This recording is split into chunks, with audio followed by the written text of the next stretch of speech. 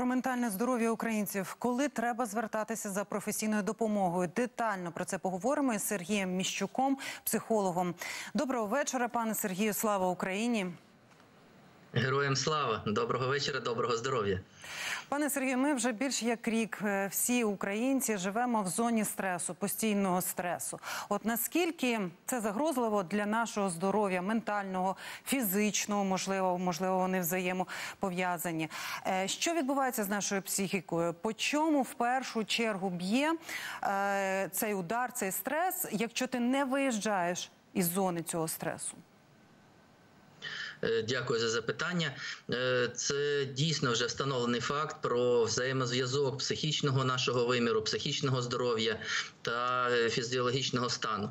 І коли ми лишаємося в зоні надмірного такого стресу, який не переривається, коли ми не можемо його розрядити, то звісно йде виснаження.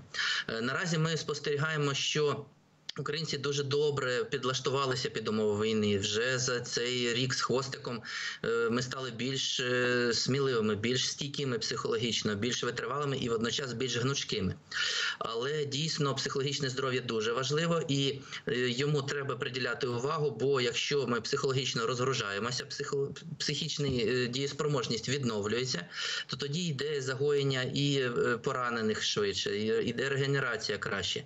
І насправді ментальне здоров'я воно е, зараз виходить вже більш на перший план, тому що е, якщо медики можуть спасти тіло, то люди, які втратили дієспроможність і не здатні до продуктивної діяльності, до економічної діяльності, до залучення в соціальні процеси, це ну дуже великий такий тягар для держави. Е, Саме тому ми звертаємо на це увагу і різними різними методами допомагаємо людям наближати допомогу в Україні і ну і навіть тим українцям, які вже поїхали з України. З чим до вас найчастіше звертаються?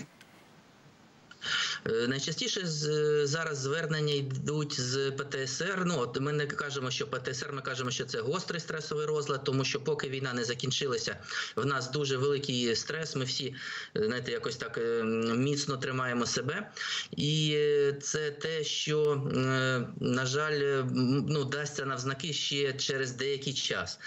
Наразі ми можемо робити вірні закладки. Ми можемо проговорювати такі в рамках психоедукації е, ті речі, які матимуть дуже гарний вплив на майбутнє. Чому? Тому що людина, яка знаходиться в стресовому розладі, якраз в неї ця прірва між тілом і психікою вона збільшується. Чому? Тому що нервова система, на жаль, не може не сприймати оточення, не може не сприймати ані вибухи, ані звуки сирен, ані е, крики людей. А психіка вона замикається. І тоді між ними, коли ця е, такий розкол стає ширший, то тоді якраз і виникає стресовий розлад. Але Е, Коли людина звертає увагу на тіло, коли людина е, усвідомлює, що відбувається, коли людина е, так повертає собі волю, то тоді це ну це справді можна відновити. Дві дуже прості речі, які варто запам'ятати: що спілкування та е, е, ну таке колективізація це те, що буде дозволяти психіці перебалансовуватись, налаштовуватись, і гуртування воно дуже е, є такою дуже великою частиною українського етносу, такої традицією, і е, є, до речі, дуже помічним е, фактором для профілактики травматичних розладів. І звісно, це робота з професіоналами, з е, можливість визнати, що є проблеми, і звернутися за допомогою. І е, натомість є дві речі, які точно можуть м, зашкодити людині. Це перше, це алкоголізація або вживання речовин з намагання, хоч трошечки зменшити цей біль. Так, е, інколи ми за медичними показами можемо давати снодійні або інші потужні препарати, але важливо розуміти, що це той біль, ця травма, яку треба пережити, перепрацювати для того, щоб відновити е, дієспроможність. І так само усамітнення. Тобто гуртування веде з травми до е, зцілення, усамітнення, воно поглиблює процеси руйнування психіки. Речовини не приймаємо, йдемо до фахівців.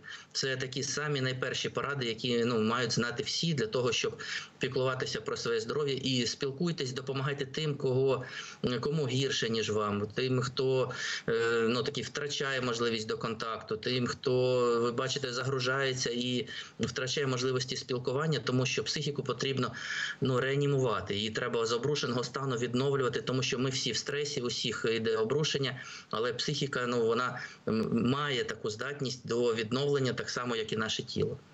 Приємна новина для нас, але от ви сказали, що українці загартовані, вони адаптовані. А от е, в тому може бути і проблема. От раніше до психологів не дуже ходили. Та я сам е, впораюся саме через цю позицію, що я сильний, я впораюся.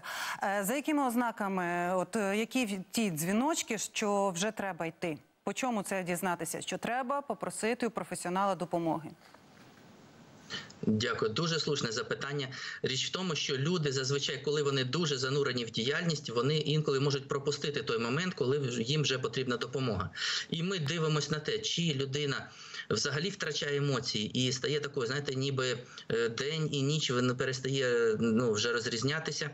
І тоді ми кажемо: якщо ви втратили емоції, якщо ви втратили е, радість до життя, натхнення, е, якщо ви втратили можливість е, відчувати щастя, то це вже такий перший крок, щоб зупинитися і просто ну, звернути на це увагу. І якщо це не вдається відновити самотужки, вже тоді звернутися до фахівця. Або навпаки, якщо емоційна сфера настільки відшарувалася, що ви не можете її опанувати.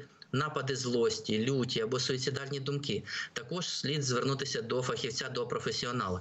От е, і тут, тут так само працює те, що е, ми, коли допомагаємо іншим, ми допомагаємо і собі, але варто зазначити, що якщо ви будете допомагати тільки іншим і не звертати увагу на себе, це теж тривожна ознака, тому що першу маску треба надягати на себе.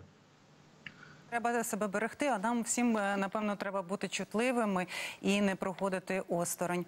Е, Я вам дякую, пане Сергію, за те, що знайшли час і доєдналися до нас. Це був Сергій Міщук, психолог.